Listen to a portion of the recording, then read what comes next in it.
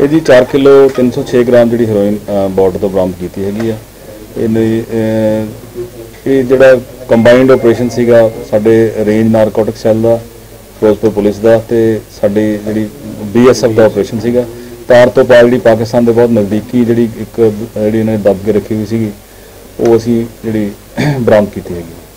Sir ਇਹ ਕਿੰਨੇ ਕੋਈ ਦੀ ਘਟਨਾ ਹੈ ਜੀ? ਔਰ ਕਿਵੇਂ ਤੁਹਾਨੂੰ ਇਨਫੋਰਮੇਸ਼ਨ ਇਹ ਸਾਡੀ ਸਾਡੇ ਕੋਲੇ ਕਈ ਦਿਨ ਦਾ ਆਪਰੇਸ਼ਨ ਚੱਲ ਰਿਹਾ ਸੀ ਸਾਨੂੰ ਇਨਫੋਰਮੇਸ਼ਨ ਸੀਗੀ ਇਸ ਦੀ। ਕੱਲ ਸ਼ਾਮ ਨੂੰ ਅਬਾਊਟ ਕੋਈ 5 ਵਜੇ ਅਸੀਂ ਰਿਕਵਰ ਕੀਤੀ ਹੈ। ਸਰ ਇਹ ਪਤਾ ਲੱਗਾ ਕਿ ਇਹ ਕਿੱਥੋਂ ਆਈ ਹੈ ਜੀ ਔਰ ਕਿਸ ਕਿੰਨੇ ਦਿਨ ਪਹਿਲਾਂ ਆਈ ਦੇਖੋ ਆਬਵੀਅਸਲੀ ਇਹ ਪਾਕਿਸਤਾਨ ਤੋਂ ਆਈ ਹੈ ਪਰ ਇਹ ਹੁਣ ਦਿਨ ਦਾ ਨਹੀਂ ਕਹਿ ਸਕਦੇ ਕਿ ਕਦੋਂ ਆਈ ਹੈ। ਇਹ ਅਸੀਂ ਇਨਵੈਸਟੀਗੇਸ਼ਨ ਚੱਲ ਰਹੀ ਹੈ ਅੱਗੇ ਅੱਗੇ ਕਿਹਦੇ ਕੋਲ ਡਿਲੀਵਰ ਹੋਣੀ ਹੈ ਕਿੱਥੇ ਜਾਣੀ ਹੈ। ਉਹ ਵੀ ਅਸੀਂ ਜਿਹੜਾ ਸਾਡੇ ਕੋਲ ਕੁਝ ਕਲੂਸ ਹੈਗੇ ਆ। ਕੁਝ ਪਾਸਟ ਹਿਸਟਰੀ ਹੈਗੀ ਹੈ ਜਿਨ੍ਹਾਂ ਦੇ ਜਿਹਦੇ ਖੇਤ ਚੋਂ ਮਿਲੀ ਹੈਗੀ ਆ। ਉਸ ਨੂੰ ਵੀ ਅਸੀਂ ਇਨਵੈਸਟੀਗੇਸ਼ਨ ਸ਼ਾਮਲ ਕਰਾਂਗੇ ਉਹਨੂੰ ਵੀ ਪੜਤਾਲ ਕਰਾਂਗੇ। ਤਾਂ ਹੋਪਫੁਲੀ ਅਸੀਂ ਜਿਹੜੇ ਕਲਪ੍ਰਿਟਸ ਹੈਗੇ ਉਹਨਾਂ ਤੱਕ ਜ਼ਰੂਰ ਪਹੁੰਚਾਂਗੇ। ਸਰ ਇੱਕ ਤਾਂ ਫਿਰ ਅਸੀਂ ਚੈਕਿੰਗ ਕਿਵੇਂ ਕੀਤੀ ਹੋਈ ਸੀ ਜਾਂ ਬੋਟਲ ਇਹ ਦਾ ਤਰੀਕਾ ਇੱਕ ਕਿਵੇਂ ਇੱਕ ਵਰਤਿਆ ਹਾਂਜੀ ਇੱਕ ਬੋਟਲ ਸੀਗੀ ਜੀ ਬਾਕੀ ਇਹ ਪੈਕਟ ਦੇ ਵਿੱਚ ਜਿਹੜਾ ਉੱਪਰ ਟੇਪ ਲਾਈ ਹੋਈ ਸੀਗੀ।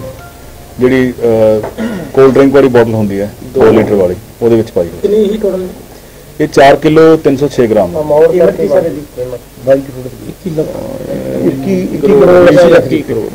ਵੈਸੇ ਇਹਦੀ ਕੀਮਤ ਆਪਾਂ ਕਹਿ ਨਹੀਂ ਸਕਦੇ, ਪਰ ਐਸਟੀਮੇਟਡ ਹੈ ਜਿੰਨੀ ਦੱਸ ਫਿਰੋਜ਼ਪੁਰ ਸੇ Manjit Singh city home news